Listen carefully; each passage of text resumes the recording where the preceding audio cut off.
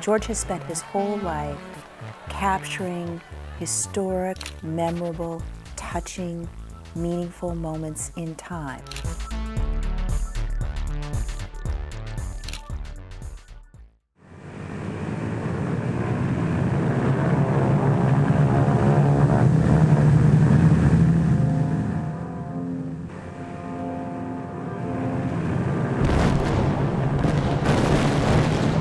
All of a sudden we just started losing planes out of our formation. The planes started peeling off to the left and the right, and I kept moving up.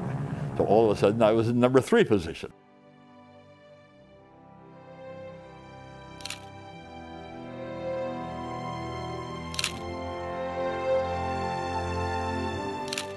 He saw what we needed to see and he captured it.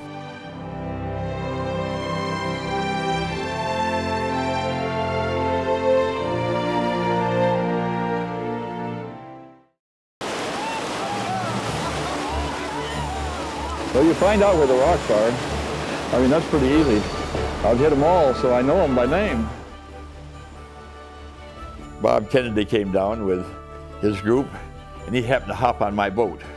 The people would go by, and Bob would say, hey, come on, come on, get on this boat.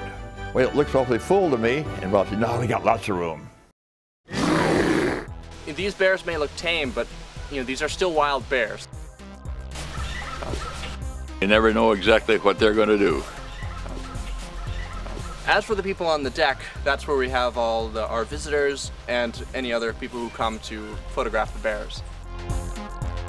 I am able to get up very close to them.